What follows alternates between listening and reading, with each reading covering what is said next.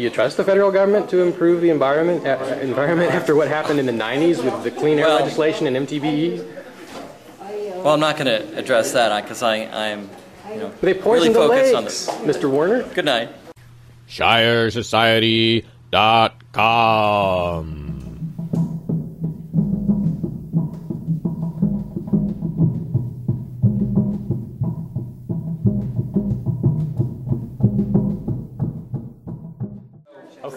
Question, first of all, Yes. what, what is this about the public not being able to ask questions at this meeting? I didn't see anyone ask any questions. They all that signed up not get to ask?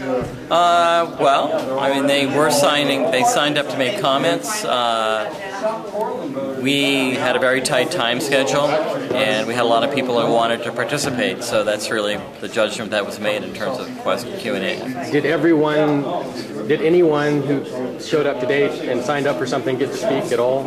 Or was it just people who signed up in advance? No, people who came in uh, to the event today, they signed a card, and those are the folks at the end of the program who were called to speak. So yeah, there was Okay. an opportunity made available to them uh, as they came into the event. So it was just the question and answer session that got next, Yeah. basically. Okay, all right. Um, other question is why is it? Was it? I was. A, it's a little suspicious to me that everybody here seemed to be kind of in favor of the EPA and in favor of government action on the environment.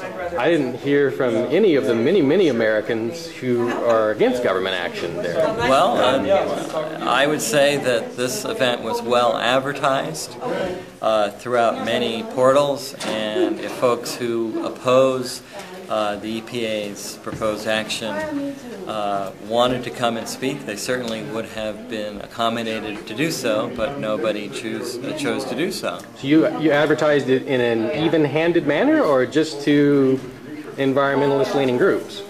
It was put on uh, news websites. It was put in the Concord Monitor, for example, uh, and other publications in terms of a notification. And I would say there was ample opportunity for people if they uh, wanted to come and talk, no matter what they thought about it, and uh, um, that they would have had an opportunity to do so if they had um, arrived here. Okay. Um, are you personally in favor of the, the EPA plan? Well, yes, I Did am. As the state director for the New Hampshire League of Conservation Voters, I am very much in favor of the EPA action. How could, uh, well, have you read it? The whole thing? I have not read the whole thing. but, uh, 675 pages I have not. I checked. I have not read If you haven't read it, how can you uh, push forward? because I know enough about it to form a judgment. but can't there be one thing in there that makes the whole thing terrible for Americans that you missed? I think some folks spoke to some improvements that they would like to see, and that's uh, good. I'm glad people commented on that, but uh, I'm not going to, uh, you know, characterize that uh, whole entire regulation in that in that way. Do you trust the federal government to improve the environment uh, environment after what happened in the 90s with the clean air Well- legislation and MTBE? Well, I'm not going to address that because I I'm, you know, They really poisoned the lakes, on the. Mr. Werner. Good night. You're saying they didn't poison the lakes? I mean, I saw it on 60 Minutes. Are you saying 60 Minutes is lying to me? Well, if you saw it on television, it must be true. Well, I, I trust Steve, Steve Kroft. I mean, you don't? trust him more than I trust a federal bureaucrat. I request permission to drive this around. All right, thanks, Mr. Werner. The old world is collapsing, and it's going to take its slave driver governments with it. But what will rise up in their place?